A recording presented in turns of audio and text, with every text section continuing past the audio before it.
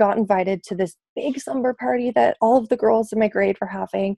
And I was so excited. I remember running up to my mom, being like, Mom, I'm invited to something. I'm actually invited. And uh, I went to this sleepover. The girls were really nice to me. And I actually finally felt like I belonged.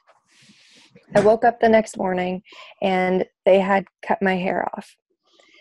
I still don't know who did it. Um, nobody ever confessed to it. So I just kind of came to the conclusion that it was a staged sleepover and that they were all in on it. Um, I moved schools again going into grade eight, um, kind of became invisible. moved schools again going into grade nine. Um, this point in time, it was my seventh school.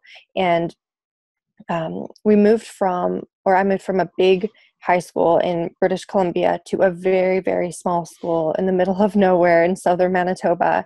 And it was a community where everybody had known each other forever and the grandparents were friends and I was a complete outsider. And I went into high school with the mindset that okay, I'm going to be popular this year. I'm going to fit in. I'm going to have lots of friends. And it didn't really work out as I wanted it to. Um, about a month in it started to get really bad. I'm actually naturally good at school so i would you know get 90 to 100 on anything and um, a lot of the students didn't like that. So i was called you know nerd teacher's pet. They would harass me about it. They would purposely destroy my assignments so i started to change who i was so that i could try to fit in.